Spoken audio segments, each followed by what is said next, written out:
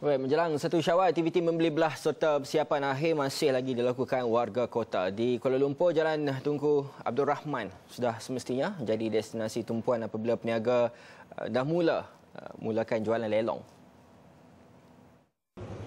Kebanyakan yang ditemui Astro Awani memberi alasan kesibukan tugas menyebabkan mereka terpaksa membuat persiapan di saat akhir. Okey, persiapan saya raya tahun ni last minute lah. Pasal saya punya cuti pun baru start semalam. So hari ni kita memang nak balik Negeri Sembilan. So kita stop kat KL Sat untuk beli belah untuk anak sekali lah dengan saya sekali.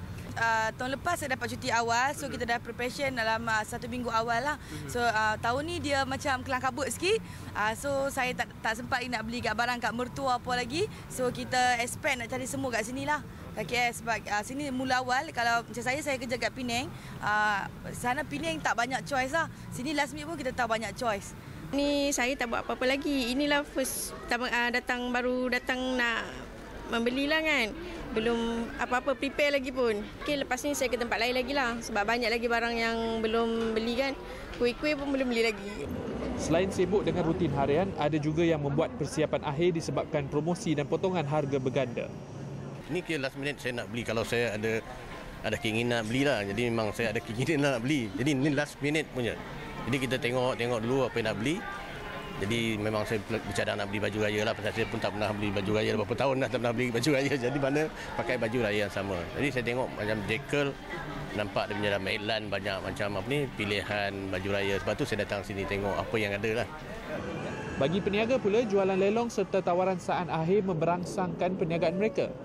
Berbanding dengan uh, tahun lepas, tahun ni kita ada Jacker Mall di mana bangunan kita lebih jauh lebih besar daripada bangunan sebelum ni.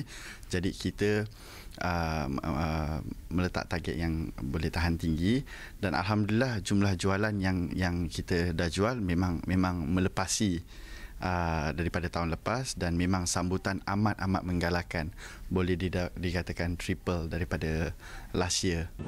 Peniaga baju Melayu Hizaimi Hafrizal menyifatkan promosi istimewa merupakan rutin tahunan peniaga di sini terutama pada malam Syawal. Okay, promosi uh, macam biasalah bila dah akhir Ramadan kita uh, buat uh, jualan lelong lah. Uh, murah. So in terms of customer response macam mana? Alhamdulillah masih lagi baik dan menerima uh, sambutan yang menggalakkan.